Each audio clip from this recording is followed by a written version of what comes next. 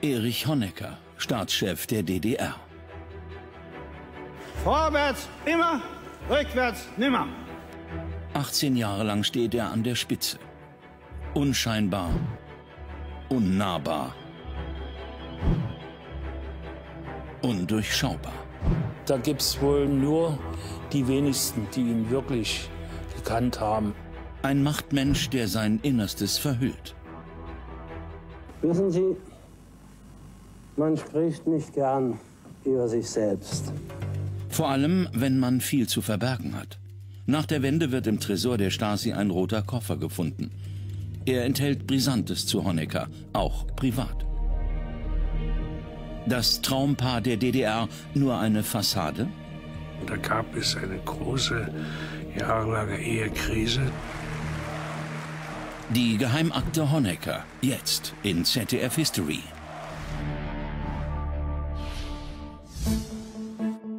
6. Oktober 1989. Erich Honecker erwartet hohen Besuch. Den sowjetischen Parteichef Michail Gorbatschow. Gemeinsam will man den 40. Geburtstag der DDR feiern, doch die Stimmung ist angespannt. Wir immer wieder Gorbi, Gorbi, Gorbi. Und dann kam ab und zu mal Erich. Ja, äh, aber das war dann wirklich einmal und das andere war mindestens 10 bis 20 Mal. Und da dachten wir, oh, hier ist aber eine ganz schöne Disharmonie. Die DDR-Bürger erhoffen von Gorbatschow Reformen. Honecker will sie nicht. Oder doch? Tags darauf Festbankett im Palast der Republik. Das letzte Rendezvous der alten sozialistischen Welt vor dem Zusammenbruch. Mit dabei Klaus Taubert, Chefreporter der DDR-Nachrichtenagentur ADN. Irgendwie war ich rechtzeitig da, um mitzukriegen, mit Blick aus dem Fenster, aus dem Palast von oben, äh, dass sich da Erhebliches abspielte hinter dem Palast. Das war schon erschreckend. Während Honecker feiern will, rebelliert sein Volk. Im ganzen Land gehen die Bürger auf die Straße. An ihrem 40. Geburtstag steckt die DDR tief in der Krise. Anspannung im Festsaal. Gleich hält Honecker seine Rede. Journalist Taubert hat das Manuskript vorab bekommen. Und er ist überrascht. Die Rede verspricht lang ersehnte Veränderungen, Fortschritt. Honecker macht Hoffnung auf qualitativ neue Schritte. Ein Neubeginn? Es ist mir eine große Freude, Sie anlässlich dieses festlichen Empfangs zu Ehren unseres Nationalfeiertages recht herzlich zu begrüßen. Dann die Enttäuschung. Honecker lässt die brisanten Stellen unter den Tisch fallen. Wie kann man an dem Abend, der so bedeutend war und der die Weltführer des Kommunismus im Saal hatte, auf so eine Rede verzichten? Es bleibt bei den altbekannten Floskeln. Ich bitte Sie, mit mir das Glas zu erheben auf den 40. Jahrestag der Deutschen Demokratischen Republik. Die gestrichenen Redepassagen, sie sind Honeckers letzte Chance. Warum schreckt er im entscheidenden Moment zurück? Er hat seiner Ideologie geglaubt. Und er hat in diesem tiefen Glauben die Realität mehr und mehr ausgeblendet. Waren es nur Ideologie und Realitätsflucht? Oder auch persönliche Erfahrungen und Schicksalsschläge, die Honecker so handeln ließen? Schon einmal stand er vor dem Aus. 54 Jahre zuvor. Im Dezember 1935 scheinen Honeckers revolutionäre Träume gescheitert. Der 23-Jährige wird von der Gestapo in Berlin verhaftet. Honecker, Mitglied der von den Nazis verbotenen KPD, ist unter dem Decknamen Martin Tjaden im Widerstand gegen Hitler. Der Berliner Volksgerichtshof verurteilt ihn zu zehn Jahren Zuchthaus. Honecker stilisiert sich dafür später als unbeugsamen Kämpfer gegen den Faschismus. Doch ganz so heldenhaft war seine Haftzeit nicht, wie er einem Vertrauten gesteht. Er ist korrekt behandelt worden. Es war ein korrektes Urteil der, nach der damaligen Gesetzeslage. Er hat sich auch darüber nie beschwert. Er ist nie geschlagen oder gefoltert worden. Haben die Nazis Honecker geschont, weil er sich kooperativ zeigte? 1990 wird im Tresor von Stasi-Chef Erich Mielke ein roter Koffer entdeckt. Er enthält brisante Unterlagen zu Erich Honecker. Wenn an die Öffentlichkeit gekommen wäre, was in diesem roten Koffer ist, durchaus seine äh, Biografie ein paar Kratzer abbekommen hätte. Der Koffer enthält unter anderem zwei Gutachten zu Honeckers Verhalten im Prozess vor dem Volksgerichtshof 1935. Beide Gutachten stammen von Stasi-Mitarbeitern, doch sie kommen zu sehr unterschiedlichen Ergebnissen. Das eine Gutachten entlastet ihn vollkommen und wie mir scheint etwas euphemistisch. Das andere Gutachten stellt sehr präzise fest, dass einzelne Aussagen, die Honecker in den ersten Tagen, in den ersten Verhören durch die Gestapo gemacht hat, durchaus geeignet waren, andere zu belasten. Ein Vorwurf, der Honecker sehr geschadet hätte. Doch Wieso zwei Gutachten? Der rote Koffer ist Teil einer Sicherungsstrategie der Staatssicherheit bzw. des Machtapparates der SED überhaupt, der die Biografien seiner führenden Kader zu schützen suchte und auch auf Schwachstellen hin durchspürte und aufspürte. Stasi-Chef Mielke behauptet später, er habe die Akten zum Schutze Honeckers aufbewahrt. Ist das die Wahrheit? Oder wollte er für alle Fälle ein Druckmittel gegen Honecker in der Hand halten? Es bleibt sein Geheimnis. Honeckers Leben im Dritten Reich birgt noch einen weiteren heiklen Punkt. Im Krieg wird Honecker in das Frauengefängnis in der Berliner Barnimstraße verlegt. Der gelernte Dachdecker soll dort Bombenschäden reparieren. Honecker nutzt die Gunst der Stunde und flieht. Ohne Essen und Unterkunft irrt er in Berlin umher, stets in Gefahr erkannt und gefasst zu werden. Eine verzweifelte Lage. In der Not findet der Flüchtling Unterschlupf bei einer Wärterin aus dem Gefängnis, mit der er ein Verhältnis hat. Charlotte Schanuel ist neun Jahre älter als er und hat gute Kontakte zur NS-Partei.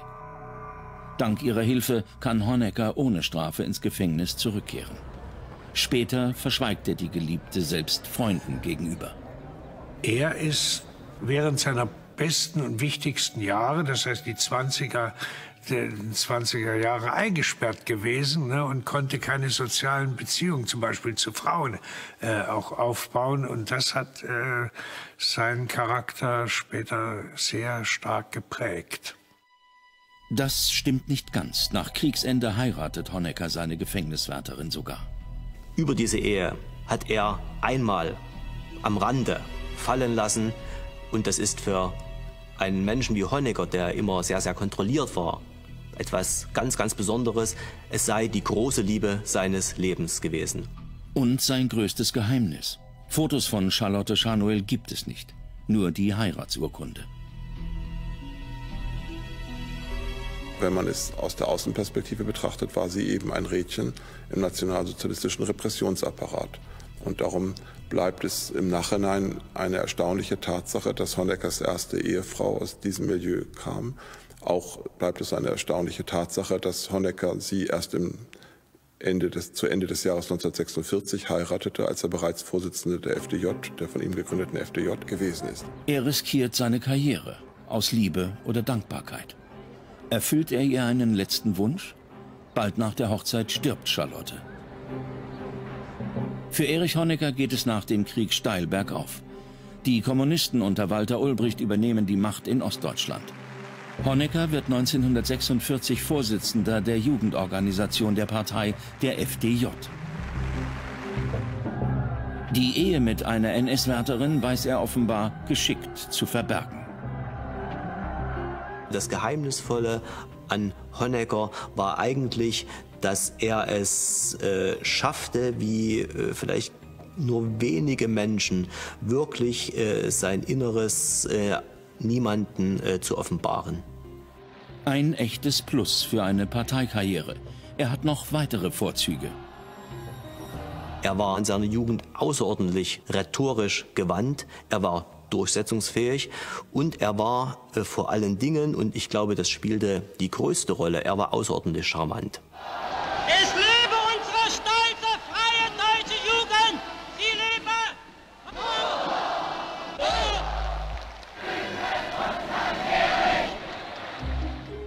Honecker hat Erfolg.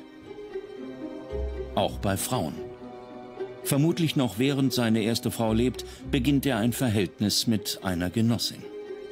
Edith Baumann, seine Stellvertreterin bei der FDJ. Auf einer Moskau-Reise im Sommer 1947 hat es gefunkt. Edith Baumann ist drei Jahre älter, resolut und ein eher herber Typ. Für sie ist Honecker die große Liebe. Honecker dagegen schildert die Beziehung zu Edith Baumann später eher als pragmatisch. Ich war damals mehr anlehnungsbedürftig, denn äh, sie hat also doch sehr stark geholfen in der politischen Arbeit.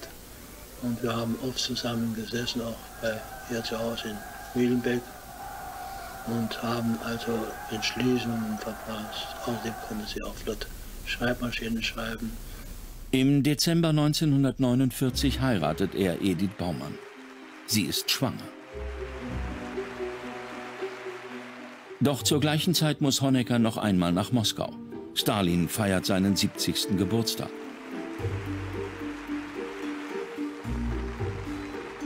Zurück kommt er mit einer neuen Geliebten, Margot Feist. Hier in erstmals veröffentlichten Filmaufnahmen. Wieder ist es eine FDJ-Funktionärin, doch 15 Jahre jünger und attraktiv. Die Margot hat sich ihm, wie es im Zentralrat hieß, so unter Vorhalten auf den Bauch gebunden. Also sie hat ihn äh, verführt, in Anführungsstrichen, und sie wollte unbedingt äh, den Honecker haben, weil sie mitkriegte, aus dem wird mal was. Ne? Der Wille zur Macht verbindet die beiden. Die quirlige und eloquente Margot Feist ist beliebt in der FDJ. Eine passende Partie, wenn Erich Honecker nicht schon verheiratet wäre. Seine Affäre sorgt für Unruhe in den höchsten Kreisen. Edith Baumann kämpft um ihren Ehemann. Sie will die Konkurrentin kaltstellen und schreibt an Walter Ulbricht, Honeckers Mentor. Lieber Walter, es frisst wie ein Feuer in ihm. Er kommt nicht von dem Mädel los. Dabei erfuhr ich außerdem, dass sie bereits dreimal brutal die Frage der Trennung von mir gestellt hat. Wenn es noch einen Ausweg gibt, dann nur den, dass Margot Feist aus der Jugendarbeit ausscheidet und nach Sachsen-Anhalt zurückgeht. Mit besten Grüßen, Edith Baumann. Edith Baumann hat das taktisch sehr, sehr klug angestellt. Wenn jemand Erich Honecker von der Beziehung zu Margot Feist hätte abbringen können, dann wäre das Walter Ulbricht gewesen. Edith Baumanns Brief an Ulbricht landet später in Mielkes rotem Koffer. Erich Honecker muss seine privaten Verhältnisse ordnen, doch anders als von Edith erhofft. Er verlässt seine Frau und heiratet Margot. Die jugendliche Rivalin hat gesiegt. Sie war eine unheimlich kluge Taktikerin, ja. Und sie hatte ihn voll im Griff. Honeckers Karriere geht weiter. Er ist ehrgeizig und kampfbereit. Bei den internationalen Weltfestspielen der Jugend im August 1951 stachelt er die FDJler zu einem Marsch nach West-Berlin an. Dort kommt es zu Zusammenstößen mit der Polizei. Eine umstrittene Provokation. Doch der Scharfmacher weist den mächtigen Parteiführer Walter Ulbricht hinter sich. Erich Honecker hat sich an Ulbricht vor allem deshalb orientiert, weil er ein sehr, sehr gutes Gefühl dafür hatte, wo ist die Macht und wo kann ich für mich persönlich das Beste herausholen.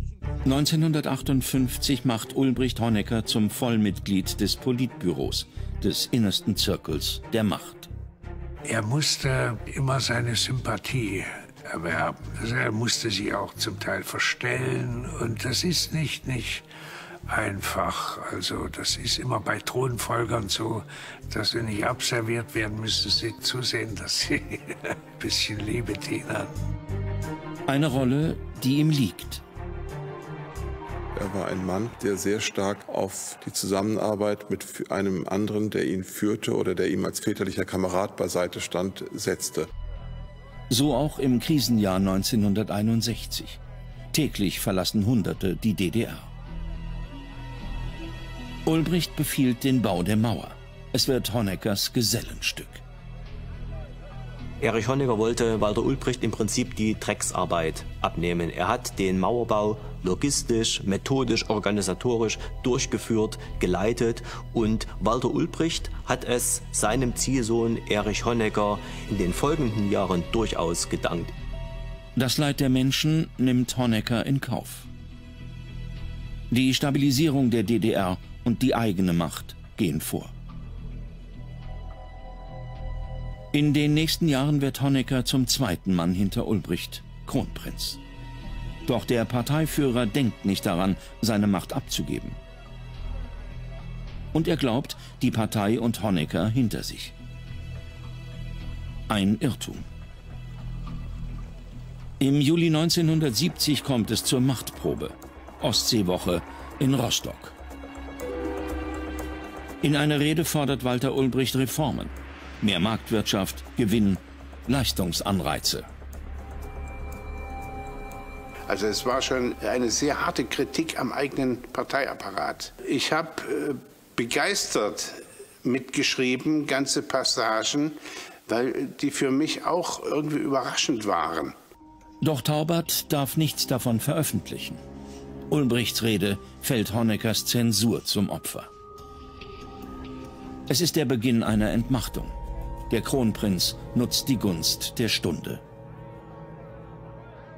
Walter Ulbricht hatte durch verschiedene Alleingänge die Sympathien von Leonid Brezhnev verloren. Er machte seinen sowjetischen Kollegen gegenüber immer wieder deutlich, dass es ja in der DDR ökonomisch, wirtschaftlich viel, viel besser läuft als in der Sowjetunion. Und das machte er den sowjetischen Genossen gegenüber auch mit einer gewissen Arroganz deutlich. Honecker sucht Kontakt zum Sowjetführer. Nur mit Brezhnevs Zustimmung kann er Ulbricht stürzen. Honecker ist der nüchterne Sachwalter, der gleichsam unideologisch, pragmatisch argumentieren kann, aber auch genau weiß, wo die Machtfrage gestellt wird und wo die Macht bedroht ist. Der Sowjetführer deckt Honeckers kalten Putsch. Im Mai 1971 zwingt dieser Ulbricht zum Rücktritt als SED-Chef.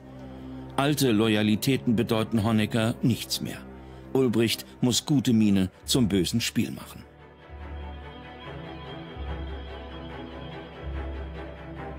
Nur äußerlich gewährt Honecker seinem alten Mentor einen ehrenvollen Abschied. Die Monate zwischen Machtübernahme Erich Honeckers, Sturz Walter Ulbrichts und dem Tod von Walter Ulbricht waren eigentlich eine Zeit der öffentlichen Hinrichtung von Walter Ulbricht. Erich Honecker ist jetzt ganz oben. Staats- und Parteichef der DDR. Der Sturz seines einstigen Förderers ist für ihn kein Grund zur Reue. Ja, Honecker war ein überzeugter Stalinist. Für ihn galt der Befehl und äh, was ihm übertragen wurde, führte er aus. Kompromisslos. Und äh, man kann sagen, da ging er auch über Leichen. Der Weg an die Spitze hat ihn verändert. Er gibt sich jovial, doch er wird noch kontrollierter, unnahbarer. Skat spielen in geselliger Runde, wie er es früher liebte, gehört der Vergangenheit an. Privat schottet sich Honecker immer weiter ab. Das Symbol dafür Wandlitz, seit 1958 Wohnsiedlung des Politbüros. Wie die Honeckers dort leben, ist zu DDR-Zeiten ein sorgfältig gehütetes Geheimnis. Aber ziemlich bescheiden, eigentlich. Ne? Dass er aber also ein, ein Diener hatte, das habe ich ja erst hinterher erfahren. Ein Diener, das hätte ich, hätte ich das gewusst, ne? da hätte ich ihnen gesagt, aber bist du bekloppt oder so. Ein Diener. 1962 kommt Lothar Herzog als Kellner nach Wandlitz. Ab 1971 ist er nur noch für Erich Honecker zuständig, vorerst alleine. Und irgendwann hat man dann festgestellt, so können wir das nicht machen, sodass man dann einen zweiten und dritten Kellner dazu genommen hat. Später kamen dann noch zwei Köche dazu. Die Hausangestellten in, in seinem Haus in Wandlitz wurden aufgestockt, sodass er drei Hausangestellte dann hatte. Und wenn er seinen Urlaub äh, dann im Jagdschloss Hubertusstock oder im Gästehaus in Dölln verbracht hat, dann hat man dann dort auch das entsprechende Personal eingesetzt. Das gemeinsame Luxusbad in Wandlitz meidet Honecker. Er bleibt lieber für sich. Selbst den Sportbereich, den es gab, Schwimmhalle, Sauna, äh, medizinische Betreuung hat er nicht äh, wahrgenommen, sondern er hat sich dann eben die Physiotherapeutin bzw. die Ärztin zu sich nach Hause bestellt. In der Küche Markenware aus dem Westen. Die Einrichtung wäre in der Bundesrepublik gehobener Mittelstand. In der DDR ist sie echter Luxus. Im Laden von Wandlitz Südfrüchte und westliche Kosmetikartikel. Ein Angebot, das Margot Honecker angeblich für normal hält. Der Kraftfahrer, der sie ja nun von früh bis abend gefahren hat, er sagte mir, er weiß kein einziges Beispiel, wo er sie jemals an der Kaufhalle abgesetzt hätte. Äh, Im Gegenteil, wenn, man, wenn sie durch die Gegend fuhren, äh, fragte Margot, warum stehen denn die Leute da drüben so in, in einer langen Schlange? Ja, sagte ihr Fahrer, das ist ein Fleischer und vielleicht äh, hat er äh, neue Ware bekommen und so. Und da fing sie an zu schimpfen, sagt, diese Idioten im Handel, warum versorgen die Leute nicht ordentlich? Sie wussten, äh, wussten gar nicht, wie die Wirklichkeit aussah. Selbst auf der Ferieninsel Film müssen die Honeckers auf Gewohntes nicht verzichten. Die Brötchen werden täglich aus dem rund 300 Kilometer entfernten Wandlitz geliefert. Dieses Beschaffen der Lebensmittel und Brötchen und Backwaren und so weiter, das war einfach irgendwo eine überspitzte Sicherheitsmaßnahme, die aus meiner Sicht auch absolut nicht notwendig gewesen wäre. Wobei man dazu sagen muss, das waren ja nicht nur die Brötchen, die dahin gebracht wurden, sondern da war seine Kurierpost dabei und ähnliche Dinge. Also das Auto hätte sowieso fahren müssen. Honecker lässt sich angeblich noch anderes liefern. Diskret. Dass er sich gerne Pornofilme anschaute, das ist ja bekannt und äh, Schalk Golodkowski hat die ihm auch aus dem Westen besorgt. Seine Diener und Personenschützer sind zum Schweigen verpflichtet. Nichts darf nach außen gelangen. Manches aber dringt dennoch nach draußen.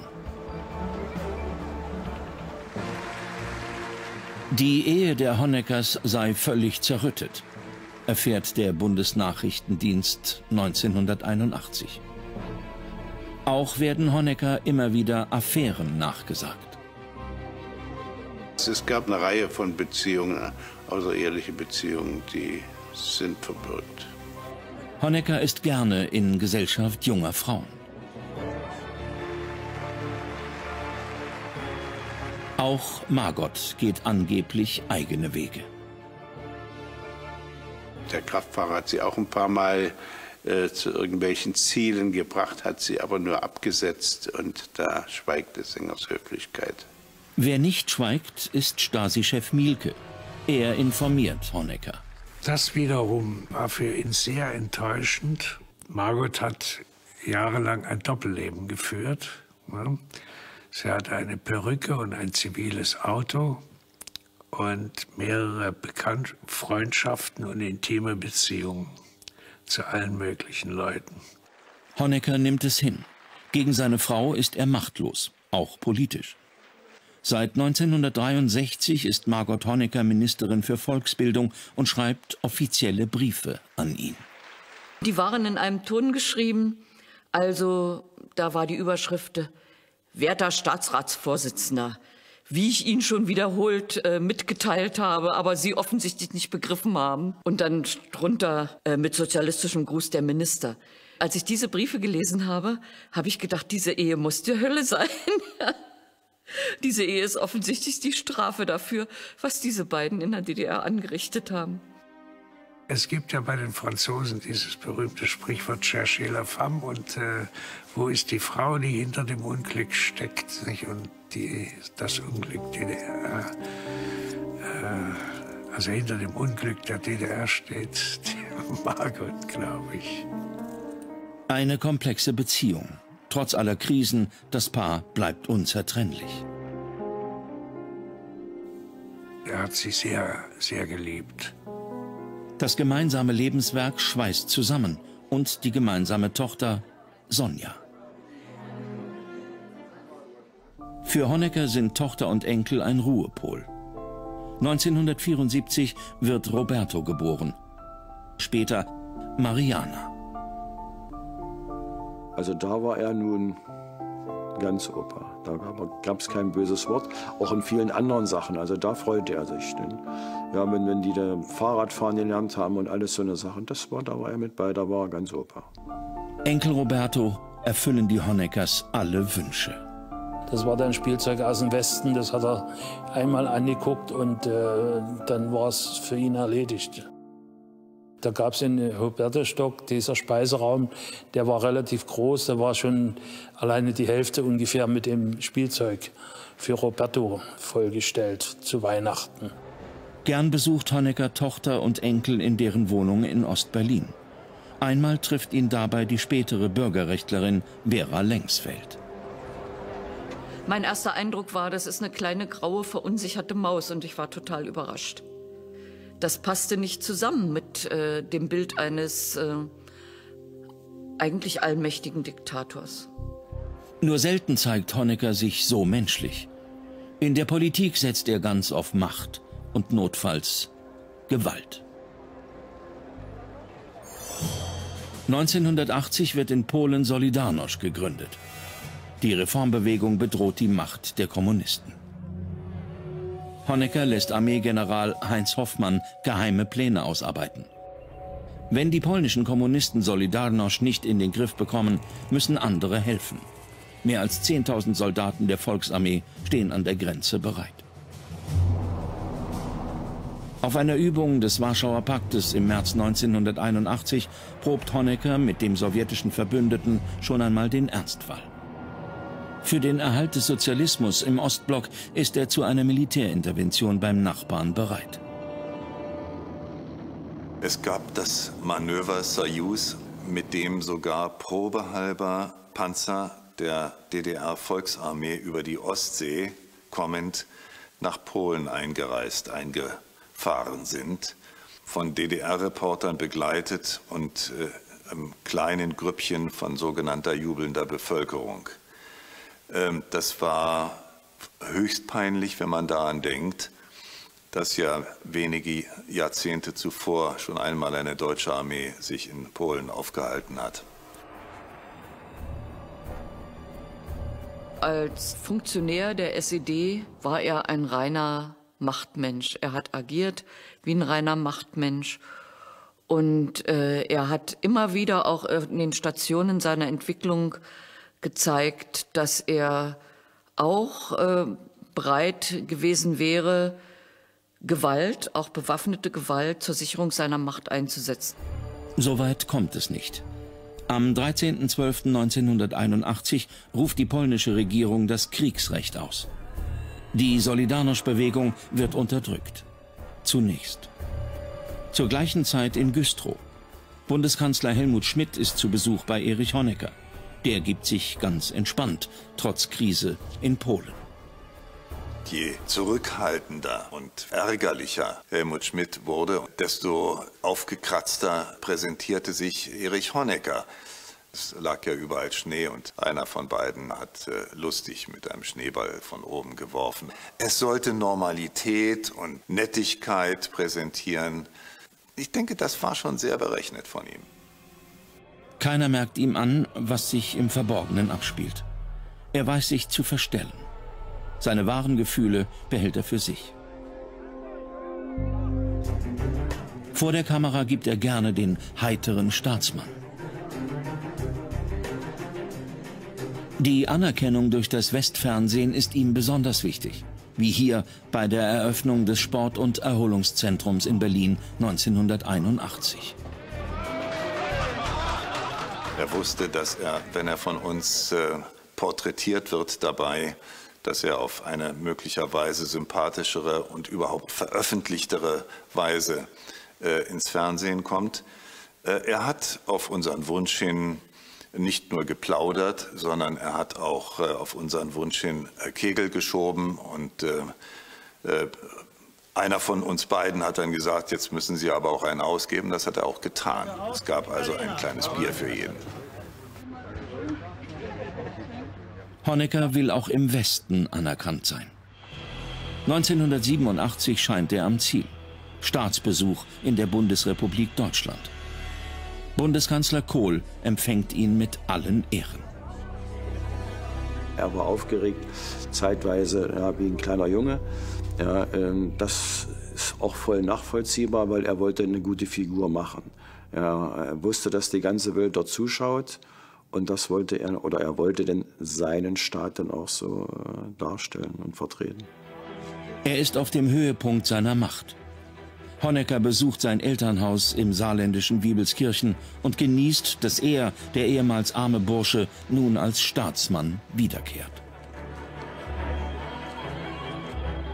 Also das stärkste Erlebnis war, dass er in Wiebelskirchen bei seiner Schwester war und sein Haus noch mal gesehen hat und den Apfelbaum und die Stelle, wo der Karnickelstall gestanden hat und so. Und da fiel äh, natürlich, also er hatte immer feuchte Augen, wenn er das erzählte. Der kühle Funktionär. In Wiebelskirchen wird er sentimental und für einen Moment leichtsinnig, als es um die deutsch-deutsche Frage geht. Dann wird auch der Tag kommen, in den Grenzen uns nicht mehr trennen, sondern Grenzen uns vereinen. Zwei Stunden später hat bereits Botschafter Kotschemasow nach Moskau berichtet, dass Honecker hier seltsame Dinge von sich gegeben habe. Und die Fronde im Politbüro um Mielke, Stoff und Krolikowski berichtet das auch sofort nach Moskau. Insoweit ist der Höhepunkt des den der Staatsbesuch oder den der Besuch Honeckers in der Bundesrepublik ausmachte, auch gleichzeitig schon diese, diese weiche Stelle der Erosion einer Herrschaft. Honeckers Alleingang irritiert die Genossen in Ostberlin und Moskau. Der Staatsbesuch in der Bundesrepublik wird zum Höhe- und Wendepunkt seiner Karriere. Ab jetzt geht es abwärts. Im Januar 1988 trifft Honecker ein persönlicher Schicksalsschlag. Seine zweijährige Lieblingsenkelin Mariana stirbt. Ein Virusinfekt verstärkt durch Luftverschmutzung. Das war eine Krankheit, die unsere Kinder alle mal in regelmäßigen Abständen, alle sechs Wochen hatten, ein Pseudogrupp. Und da geht man auf die andere Straßenseite, dort war eine Kinderärztin und die hätte eine Spritze gegeben, dann wäre die Sache erledigt gewesen. Nicht aber bei den Honecker Kindern, die riefen dann im Regierungskrankenhaus in Buch an und ehe so eine schnelle Hilfe da von dort äh, in die Stadt kommt, dauerte das eine halbe Stunde und da war das Kind erstickt. Honecker ist tief erschüttert. Er hat sich in dieser Phase verändert, so wie wir oder speziell ich ihn so noch nicht erlebt haben. Das hat ihn richtig ganz stark mitgenommen. Noch nie ist ihm der Tod eines Menschen so nahe gegangen. Es war immer wieder, ja, wir fahren nochmal zum Grab oder zum Friedhof. Und da hat er seine Kombihake, da mit der kleinen Hake, mit den kleinen Schärfelchen, hatte seine Gießkanne hinterm, hinterm Stein stehen und äh, noch ein bisschen etwas. Und dann hat er dort tatsächlich sich hingekniet, hat schön gearbeitet.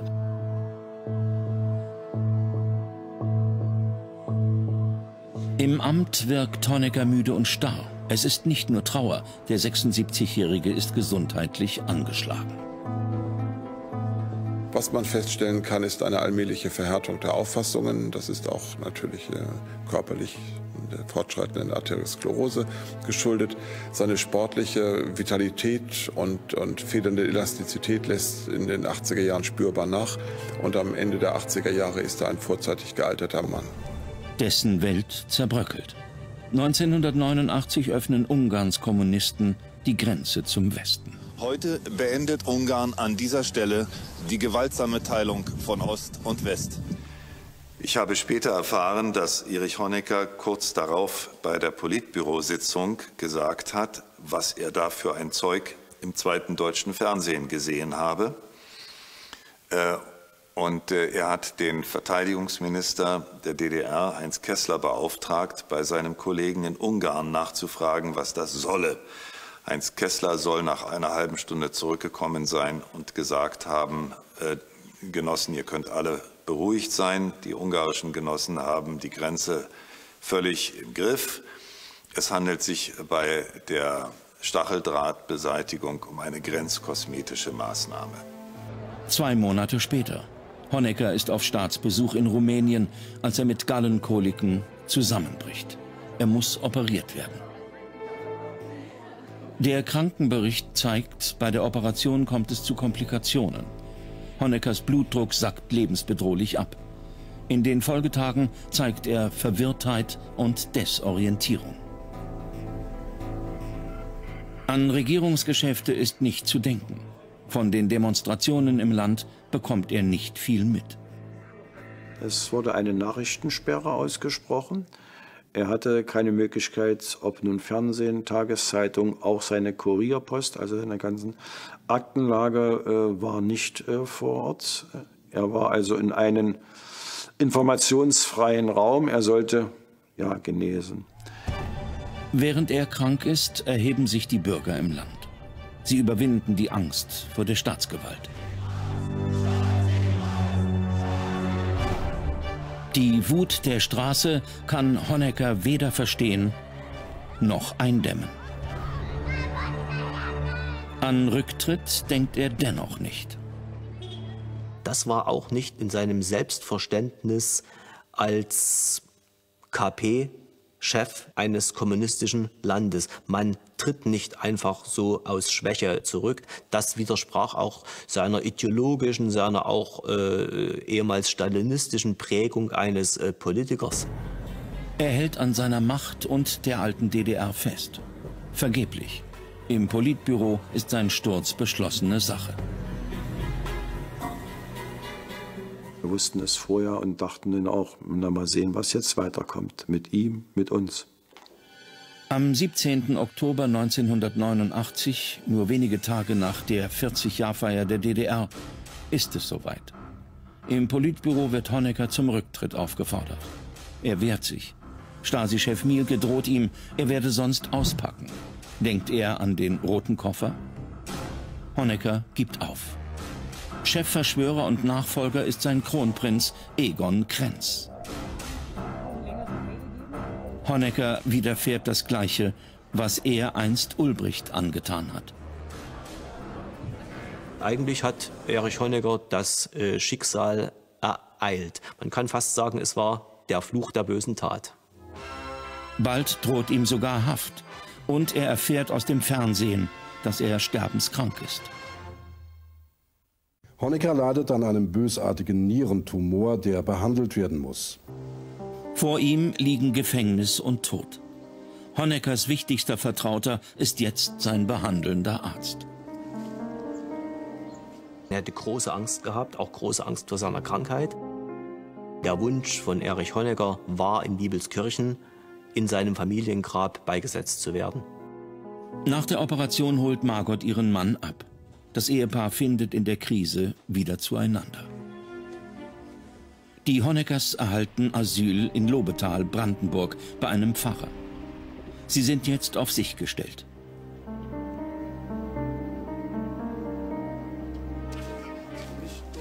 Draußen wird gegen sie demonstriert. Nur Reinhold Andert kommt als Freund der Familie regelmäßig zu Besuch. Ich hatte eigentlich einen gebrochenen Mann vermutet, aber nichts von dem. Er kam mir äh, in einer Strickweste und in Pantoffeln entgegen und umarmte mich, äh, so wie das Genossen untereinander tun, wenn sie sich lange nicht gesehen haben. Ja, und äh, fing gleich an zu reden. Stundenlang resoniert er in das Mikrofon von Reinhold Andert über seine Stellung als Staatschef des souveränen Landes DDR. Für die Toten an der Mauer, für die er angeklagt ist, findet er kein Wort. Er sagte in diesem Interview, von uns sind auch, weiß ich, 22 Grenzer erschossen worden. Ne? Bitte macht das Ding aus. Und das wollte er dann, äh, er wollte das Thema nicht mehr, äh, darüber nicht mehr sprechen. Honecker zeigt bis zum Ende weder Reue noch Einsicht. Nur alte Gesinnungsfreunde wie PLO-Chef Yassir Arafat halten jetzt noch zu ihm. Die PLO hat Erich Honecker seit dessen Sturz permanent mit finanziellen Mitteln unterstützt. Das begann spätestens, möglicherweise auch schon früher, aber spätestens im Januar 1990 mit den ersten Geldlieferungen ins Krankenhaus von Berlin, in die Charité. Todkrank darf Honecker 1993 nach Chile ausreisen. Seine Frau Margot wartet hier bereits auf ihn. Die chilenischen Sozialisten revanchieren sich für frühere Hilfe aus der DDR. Starrsinnig hält Erich Honecker auch hier an seiner Sicht der Dinge fest.